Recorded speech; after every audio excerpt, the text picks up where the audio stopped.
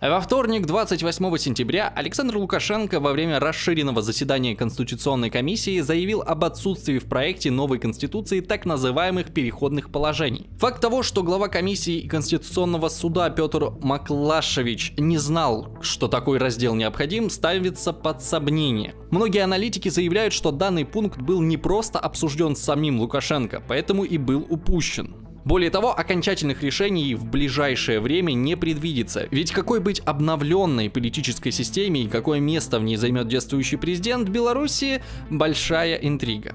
Что же, по словам Лукашенко, эти переходные положения должны дать ответы на вопросы, как именно будут действовать органы власти после принятия новой конституции. Если говорить точнее, то эти пункты должны прописывать ориентиры, указывающие, с какого времени, например, получат новые полномочия правительство и парламент, когда изберут Всебелорусское народное собрание с новыми функциями, контролирующими государственный аппарат, и, наконец, когда состоятся новые президентские выборы, на которых, как мы помним, Лукашенко участвовать не будет.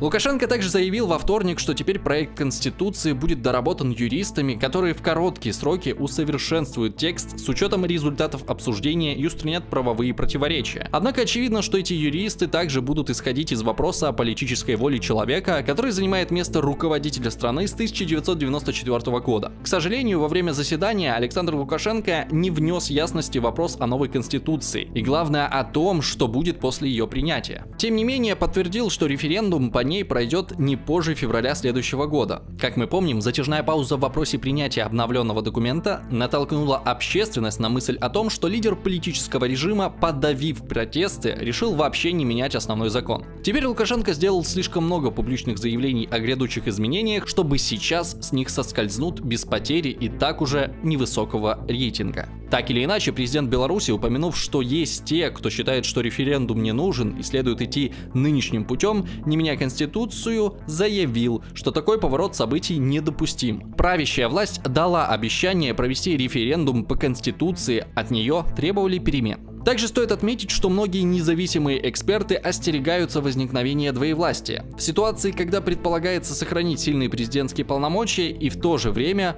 предоставить больше прав всебелорусскому собранию. Этот риск очень велик.